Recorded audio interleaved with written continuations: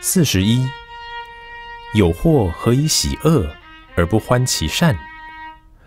恶道多出私利之为，故宽而善行，仁者好之；善道多于失品破利，有是窄而却步，故或怨之。有些人为什么喜欢恶而不喜欢善呢？一说到做恶事，他就高兴的很；做坏事，他跃跃欲试；做对自己有益的事，也兴趣盎然；而做好事、利益他人的事，他就不愿意去做，甚至于连边都不愿意去沾。其原因就是，凡是恶道，都出于私利，出于自己所得到利益而实施的一种行为。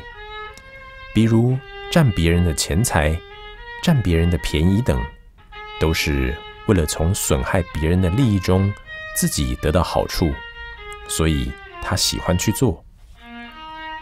因此，恶道对有些人来说似乎是宽得很，便于自己行步，所以有的人就往往喜欢去做。那么善道呢？大部分是属于失品破例的事情，即用严格的道德标准来约束自己，把自己的利益让给别人，让别人幸福。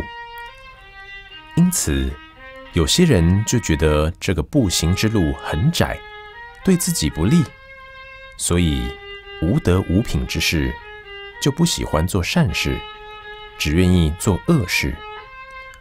而有德有品之人，则往往喜欢把自己的利益让给别人，这样最终人们会喜爱他、尊重他。那种喜欢恶事的人呢，人们会反感他的，因为人都有灵性鉴别之心，好坏善恶都会从心地之中感受出来。